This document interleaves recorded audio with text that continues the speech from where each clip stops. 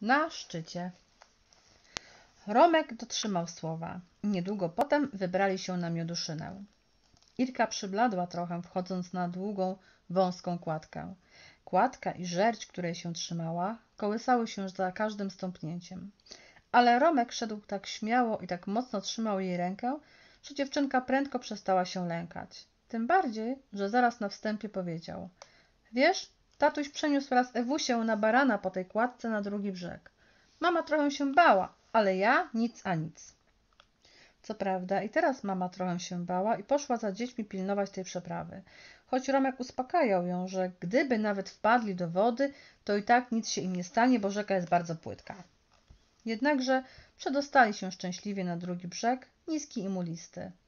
Pełno tu leżało kamyków okrągłych i gładkich, wymytych przez wodę. Romek nie wytrzymał i puścił kilka kaczek, które wybornie mu się udały.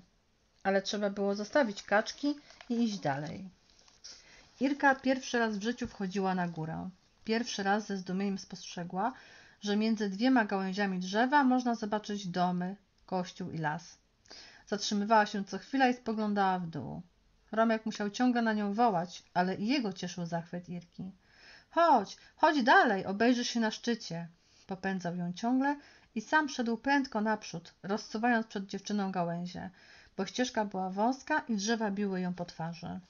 Już nie mogę, jęknęła Irka. Muszę trochę odpocząć, tak strasznie pędzisz. Zatrzymała się zdyszana i różowa cała ze zmęczenia. Jasne jej warkocze były potargane i tkwiło w nich pełno liści. I Romek aż się zadyszał. Pot spływał mu kroplami po opalonej twarzy, ale ani myślał odpoczywać. Chodź, chodź, zaraz szczyt! I dziewczynka szła posłusznie za nim. Nareszcie stanęli na szczycie. No, co? zapytał zdyszanym głosem Romek. Irka stała nieruchoma z zachwytu. Nisko pod nogami widziała całe miasto, rzekę, ogrody i domy, a dalej góry jedne za drugimi, aż ostatnie zlewały się gdzieś z niebem. Domy były takie małe jak zabawki, tamy na rzece jak białe, szerokie taśmy i sama rzeka jak kręta, długa taśma wiła się między górami. No i co? powtórzył z triumfem chłopak i rzucił się na ziemię zmordowany. Zdaje mi się, że jestem w niebie, westchnęła dziewczynka. Ale usiądź, czegoż stoisz? Usiadła, oniemiała jeszcze z zachwytu. Czy widzisz nasz dom? pytał Romek, a spostrzegając, że oczy jej gubią się zupełnie w tym obszarze nieba i ziemi, pokazywał jej palcem. Widzisz? Ten biały, tam, zaraz za zamkiem, gdzie ten szary mur koło szocy. Nareszcie zobaczyła. Teraz odróżniała już długą aleję w parku i kładkę na rzece, tak małą jak linijka. Widziała wozy wolno jadące po szosie, bieliznę, która suszyła się po ogrodach, dzieci bawiące się na podwórzu, a nad tym wszystkim bezmiar nieba i pierzaste, prześwietlone słońcem obłoki sunące po niebie. Gdybym miał papier i ołówek, mówił Romek leżąc na brzuchu i patrząc w dół, narysowałbym ci mapę suchej. To wcale nie trudno. Widziałem, jak tatuś rysował mapę Lachowic. Ale tamta jest ogromna. Trzeba ją rysować leżąc na podłodze. O, patrz, stąd widać wszystko doskonale, jak na mapie.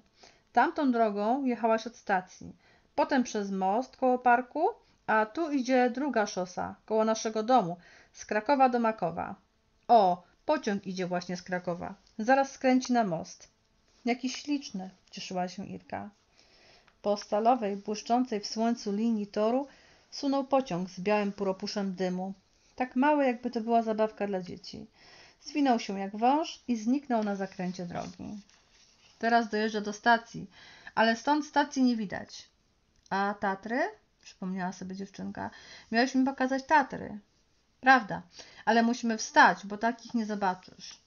Romek wstał i przesłoniwszy oczy dłonią, wpatrywał się w błękitne obłoki na horyzoncie. Czasami przesłaniają je chmury i wtedy nic nie widać, ale teraz... O, widzę je już. Patrz tam. Widzisz takie zębate szczyty? To są Tatry. Nic nie widzę, martwiła się Irka. Bo ty myślisz, że to są chmury. Z daleka tak się wydaje. O, teraz widać wybornie. Wyglądają jak srebrne. Teraz Irka dojrzała je, ale była trochę rozczarowana. Takie malutkie? Bo to bardzo daleko jeszcze do Tac. Tak daleko jak z Krakowa do Suchej. Ale one są ogromne. To są prawdziwe góry, opowiadał z zapałem Romek. Nie takie jak tutaj. Gołe i skaliste i w czerwcu jeszcze śniegiem pokryte.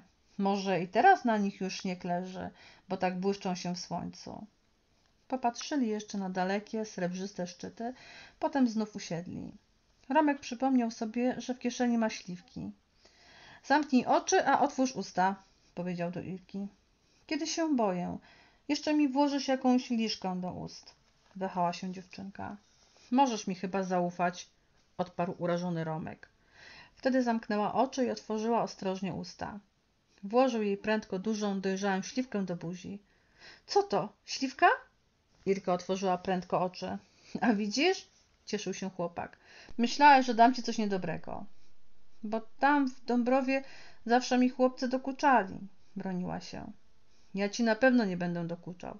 O, widzisz, mamy dziesięć śliwek. Dla mnie pięć i dla ciebie pięć. Zajadali je wesoło, siedząc wysoko nad całym światem. Tam pod nimi szli ludzie po drogach, jechały kryte płótnem wozy góralskie, białe dymy unosiły się z kominów w cichym powietrzu. Obok mioduszyny, niżej trochę, na stokach góry pasły się krowy, kołacząc w kołatki. A bosa dziewczyna w krasej spódnicy pilnowała ich, wyśpiewując na cały głos. W polu ja urosła, w polu będę stała, wiaterka ziemnego nie będę się bała. Irka zapatrzyła się i zamyśliła tak, że zapomniała o śliwkach. Może myślała nad tym, dlaczego to jedne dzieci widzą tylko brzydkie czerwone domy, brudne i czarne od węgla doły, a inne pola, góry i lasy.